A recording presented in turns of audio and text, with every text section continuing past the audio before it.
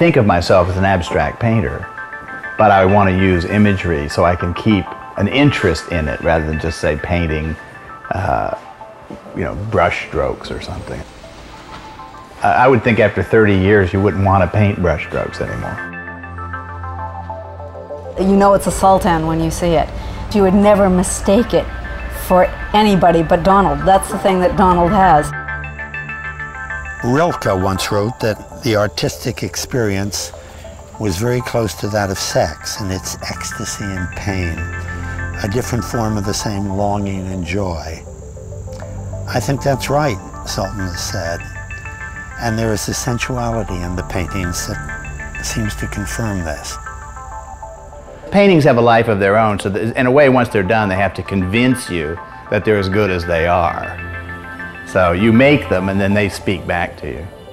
He has some answers, you know, which is very nice. You know, it's nice to see that they're there. Most people, I would say, look at a painting five or six seconds in their life, any one painting. So the paintings have to have some kind of impact within a very short time to stay in the memory and have somebody really want to go back and look at it.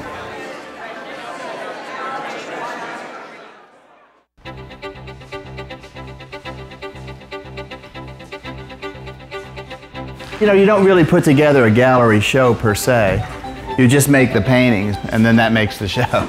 I don't have an overall concept of how I want the show to look.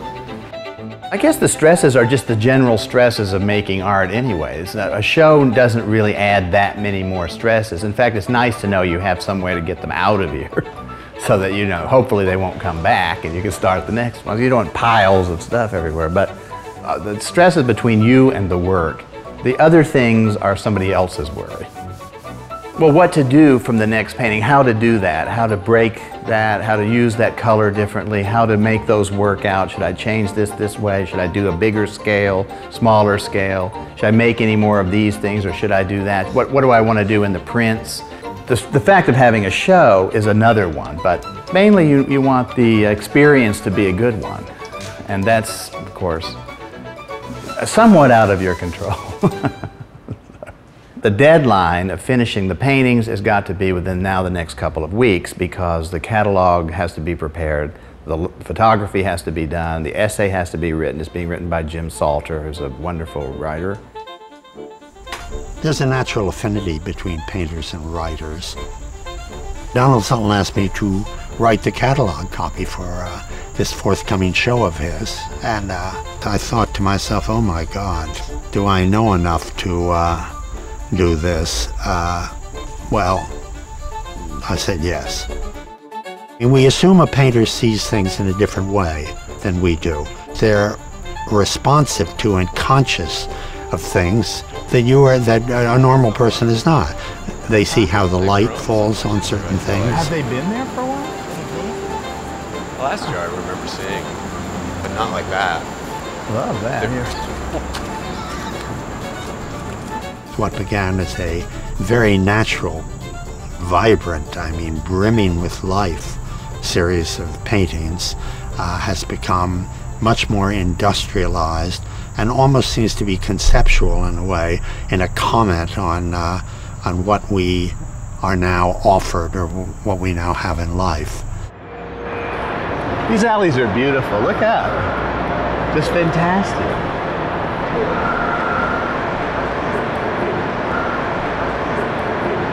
I mean, almost all the architectural uh, paintings I made came from here. Building canyon paintings and all the uh, fire paintings with all the different fire escapes illuminated from fire and smoke. Look at the hats. The hats here. Could easily be that flower painting, right? They're all fuzzy and all the different colors.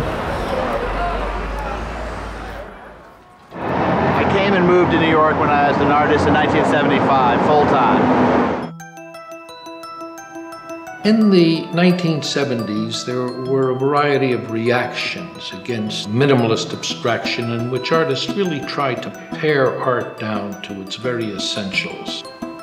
Donald fits into that particular direction in American art. Donald's work emerged in the new imagist group of artists that happened in the mid to late 70s. There were a lot of artists working with imagery in new ways. I did a show at Artists Space and had a big review in the Times. Also a show at Mary Boone's and one at Willard. And it all started to pick up from there. I Started seeing Donald's work in the early 80s. And uh, you know that was that was a period when uh, it was the end of the domination of the big isms of abstract expressionism and pop and minimal. And out of all of these people who emerged in the late 70s and the 80s, I thought Donald was one of the most original. I remember the early work as really being unusual, and there was a kind of sense of humor attached to it. He was using this strange kind of rough industrial material and applying it to extremely refined images. There were, there were images that were not ingratiating, but they, uh, they lodged in the mind and stayed there. What he's trying to do is create a different way of seeing things. Each show he's ever done it is the best show he's ever done. He's maintained a level of quality and authenticity and honesty that's just hard to to to imagine. The large painting that has all the different flowers on it, there's something completely different happening in that. And I, I wonder if it, it's almost as if it's fabric. I, it's, it's as if he's sewn them on, and you know he hasn't. Really imprints on your mind. Donald seems like one of these artists on whom nothing is wasted. He can learn from everything and not be overwhelmed by it.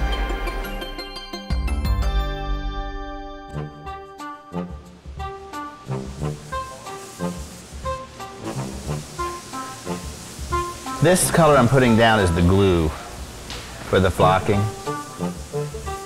Flocking is used for was a, it was a uh, invention like linoleum was a fake marble. Flocking was an invention to be a fake velvet.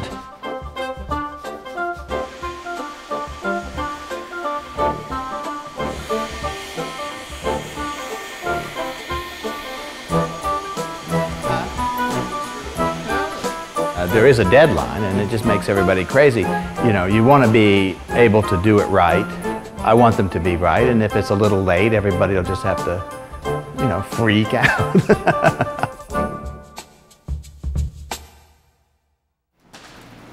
Having studio assistants in American art is not that old. It starts probably with pop artists, uh, Rauschenberg and Warhol and Johns, people who especially that used a lot of materials, art and technology and things like that, started bringing more people in.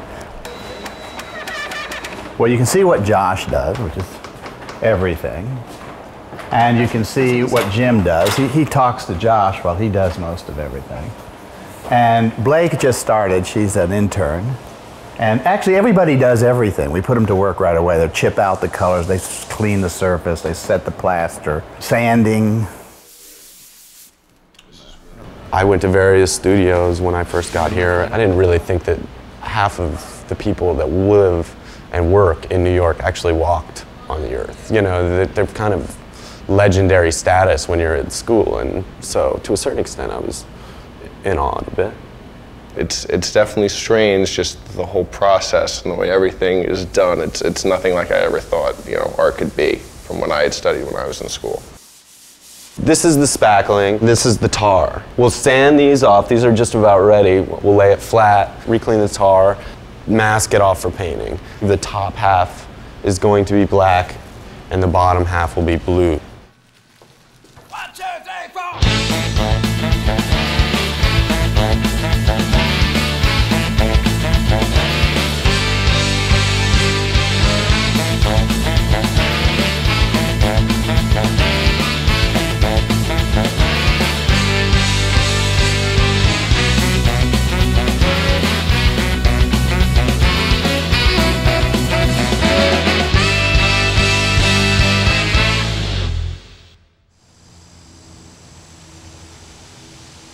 I don't know why I like to get away from the city, but I do sometimes.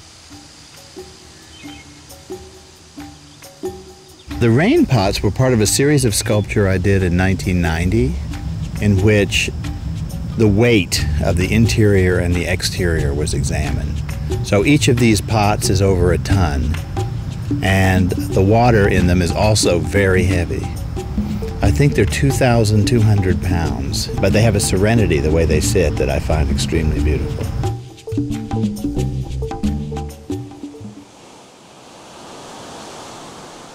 The first floor tile works I did in the 70s were landscapes, and I just put blue floor tiles together with gray ones, and I had the sea and the sky. One of the mainstays of making art is that you don't think up new ideas, you discover them. So that's why you have to work all the time. If you go out and just lie around, you know, and start thinking and waiting, you know, nothing is ever going to happen. And the longer you wait, the more you realize that when you come back to it, you're right back where you were. You're not any further along, even though you thought and thought and thought. You didn't really go anywhere.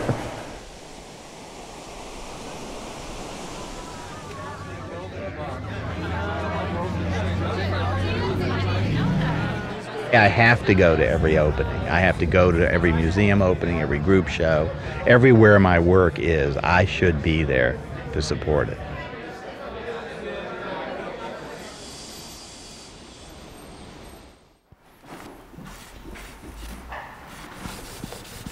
What happens if you start studying a particular kind of drawing, like cartooning per se, or illustration too much, then uh, the line and the, the, work, the way you work tends to become more like other drawings like that. It's a craft rather than an, an art. And it's kind of the hardest thing for people to do because the thing that most people are afraid of is the them, the uniqueness of their drawing. So you immediately, when you start try to make it better, with better being more like other drawings that people say are good. So when you're drawing something, you're not drawing the thing per se, but the idea you want to express about that thing. And you're discovering it because you don't know it already. These are really just taking uh, sticker dots and putting them down and drawing the leaves over them, spraying them. And uh, I really got fascinated with these because of the delicacy of the different colors of the paper. It's, there's no other, the, the dots are formed only by the paper, there's no pigment in it. So it gave me this idea of, of making this kind of musical floral.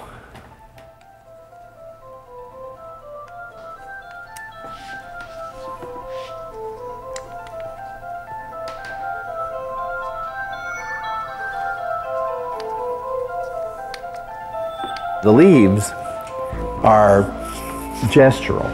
They're, they're not drawn so much as they are sort of smudged. And you don't know. Sometimes you think, well, I should have used more, I should have used less. You just don't know. There's a lot of that goes on underneath there.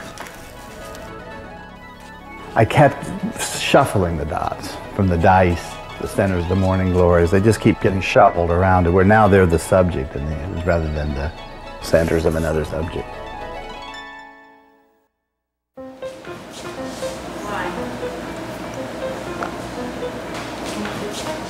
I don't think it should be centered.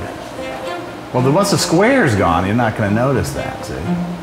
But if I'm going to center, maybe I should put a stem top and bottom and anchor it. Once you find a form you like, it's not really about the drawing per se of each one being different. The interest in this for me right now is the difference in a mechanical process. I mean, it's, it's always going to be different, so you don't have to worry about that.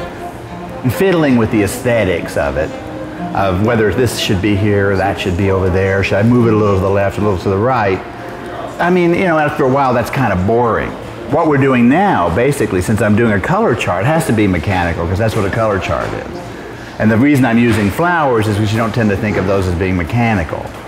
I started with that with the lemons. I, uh, the first lemons I did, they, you know, I was doing them and uh, each time I drew a new lemon on the paper, the big, big black ones. And so I would play with the nipples on either end. And then, but what happened is people started thinking they were breasts. And, you know, I wasn't really shooting for that. There was a little bit of that, but that wasn't the main thing. So then I took one that I liked and I just traced it.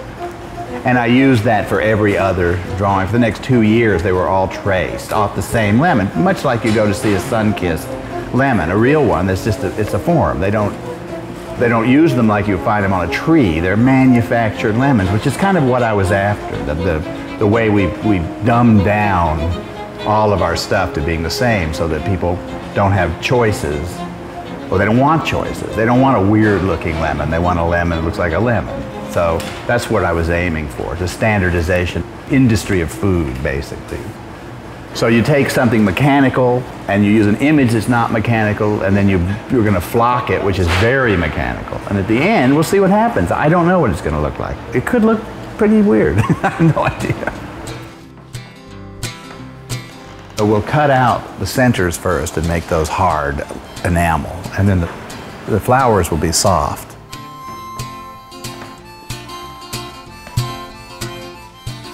Now the question I haven't decided yet is do I carry the stems through like on the other ones and connect them all or leave them as single flowers? And I won't know that until we erase the grid and look at them. I've never done one like this before. It's all a guess.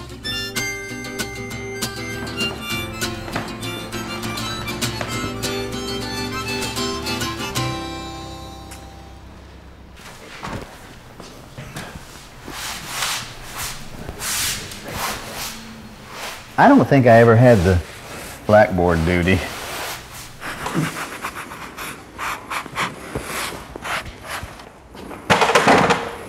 That looks good. I make them jump around. See how abstract that gets all of a sudden? When you see those all different colors, it's not going to be clear exactly what the hell you're looking at. yeah. see, now that the structure's gone underneath of the grid, they're all, all the little differences are starting to pop out. Absolut Vodka had a wonderful campaign where they asked contemporary artists to make paintings with an Absolut bottle in it somewhere. They asked me to make one. I said I would. I had been doing little tomatoes and eggs, black eggs, so I decided to keep the same turning of the paint. I made the olives and then I put in the pimentos because of martinis, which is one of my drinks.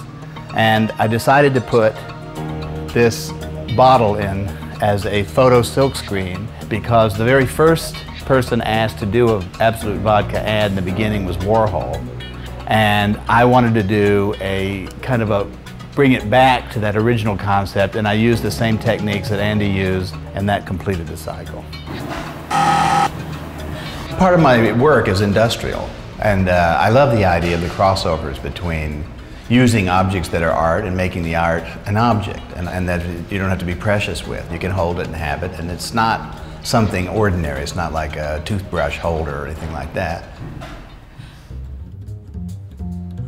I thought that I would like to make a scent because uh, of all the implications of perfume. And Neiman Marcus just happened to call out of the blue and they said they wanted to use my images for their bags and some gifts and for a bunch of things that they wanted to do for a year of promotion of their store. And I said I would let them use the image and we could do it if they would back the perfume. So they said, okay. I didn't realize really quite what was involved in it. Really all I wanted was the bottle, the name turpentine, and that was it. But as we developed it and got into it, the word turpentine for most perfume people became problematical. I said, well, uh, I'm not changing the name turpentine. So that's, they put it out as turpentine.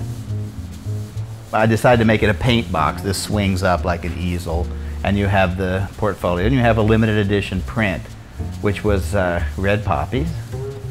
And the mold that we use to make the bottle is just a plaster sculpture, so you have a little sculpture. You have a whole little set here, but you can use it. Uh, the price is $2,500. Yes, they sold.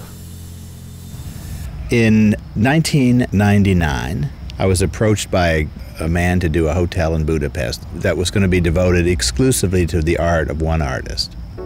So I did over 700 works, including the dishes, the carpeting, bathrooms, the colors of the fabrics, prints, drawings, plates, and uh, the hotel exists. It's called the Donald Sultan Art Hotel in Budapest. Why Budapest? I don't know.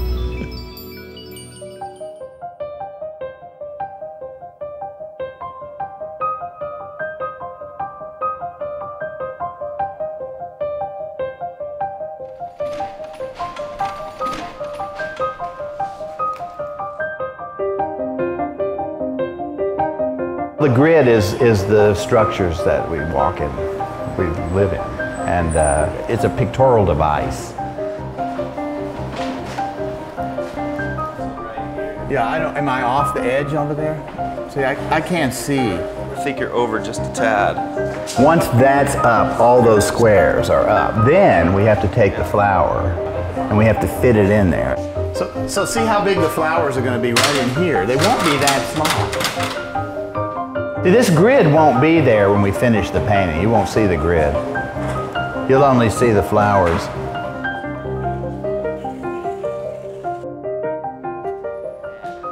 I first met Donald in 1975. One of the things that is interesting to me about Donald's work is his use of visually accessible, identifiable subjects such as flowers, industrial blight, landscape, smoke rings. It's all something you can actually see, but he uses it in the service of contemporary ideas about painting. He has the ability and the need to have things a very specific way, which is very good in painting because a color tone or a surface quality is something that's